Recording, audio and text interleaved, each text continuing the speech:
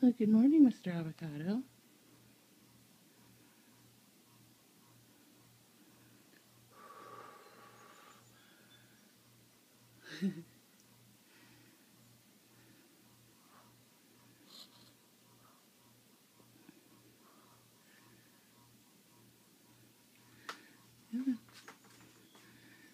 Get up on the thing. Come on. Go. There you go. Pay attention to what you're doing.